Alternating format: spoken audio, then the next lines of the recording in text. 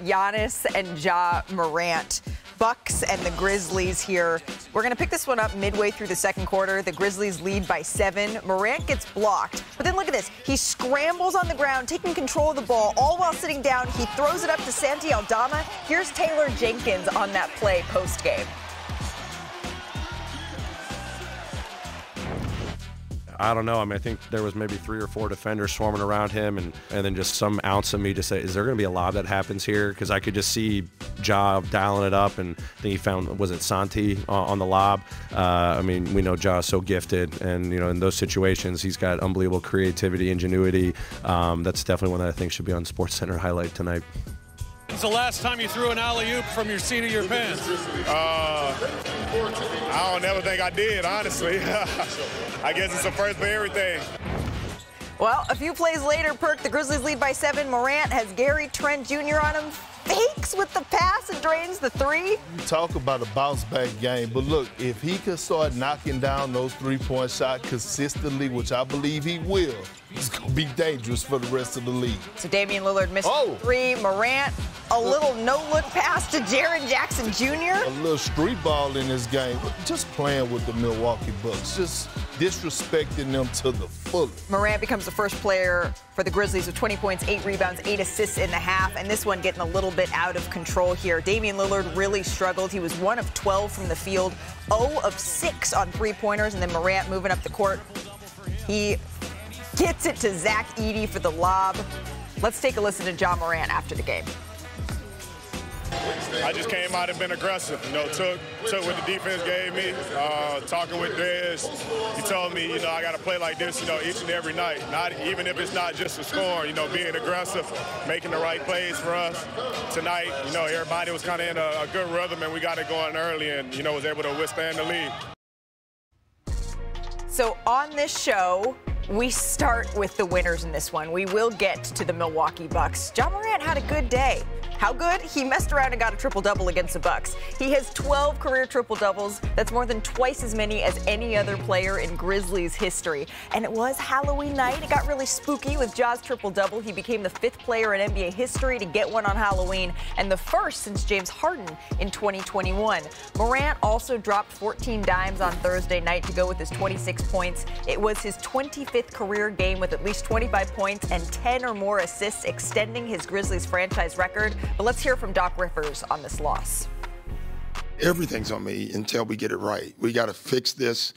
Um, I thought we played with the right spirit. We didn't make shots, and, and you're going to have nights like that. But on those nights, we have to find a way to get stops.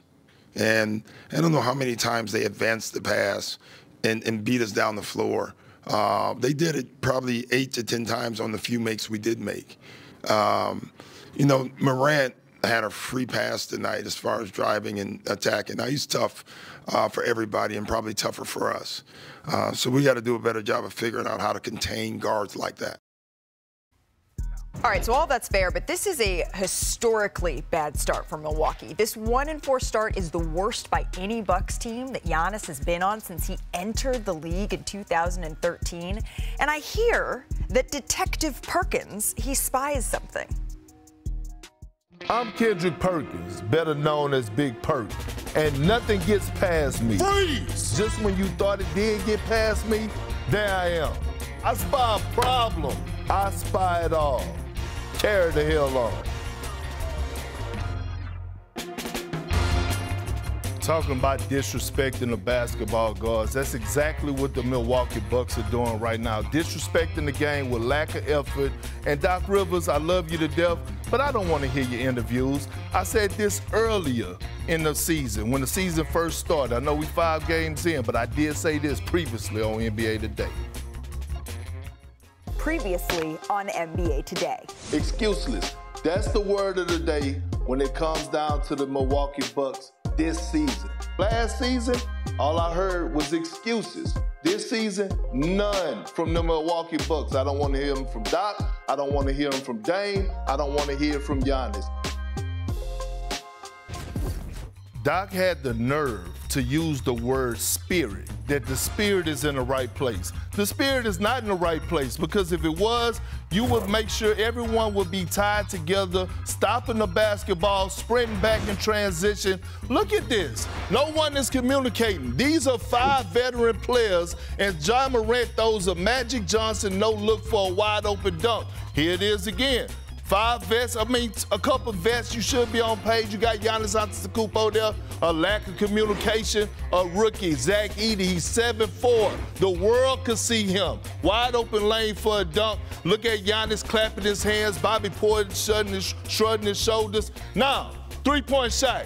Everyone's supposed to be on the sprint, get back in transition. I want you to watch the Milwaukee Bucks. Look at Doc. He already knows, right? Everyone's supposed to be sprinting back. I feel sorry for Doc Rivers and because he could have been up here with me on television, but he just, he chose to do that.